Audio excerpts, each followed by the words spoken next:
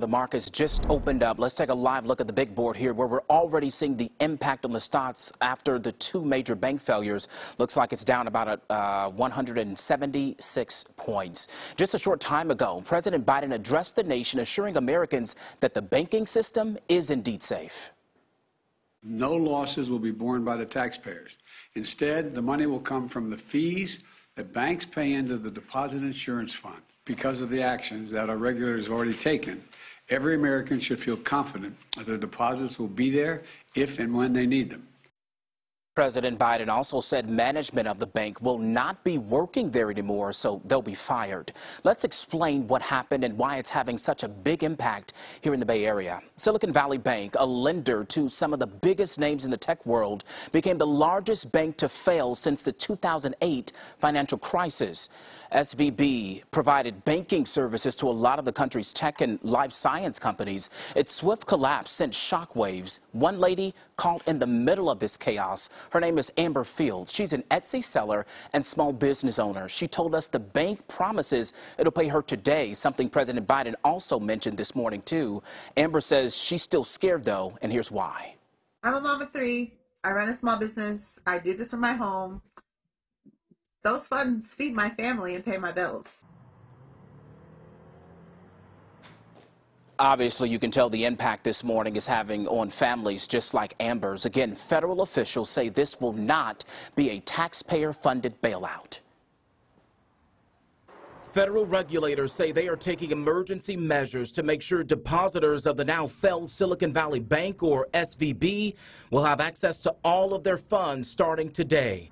And they say they're taking similar measures for investors of Signature Bank of New York, which collapsed yesterday. I've been working all weekend with our banking regulators to design appropriate uh, policies to address this situation. SVB's failure on Friday was a major concern to the tech and wine business it financed. Its collapse, followed closely by Signature Bank's raised concerns about how this could reverberate among other financial institutions. Treasury Secretary Janet Yellen reassured customers on Face the Nation. The American banking system is really um, safe and well capitalized. It's resilient. According to a joint statement released by the Federal Reserve, the Department of Treasury, and Federal Deposit Insurance Corporation, they are taking actions that, quote, fully protects all depositors. Regulators insist the plan will not include using taxpayer dollars as the two failed banks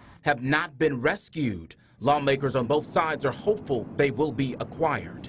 That would be the ideal situation, and our delegation that talked to the FDIC last night made that clear. It is attractive for someone to want to purchase it. It's just a timeline of where to move forward, and the administration has tools to deal with this. There's also a new push by some House lawmakers to extend temporary lines of credit to the bank's depositors to assist with essential costs like payroll.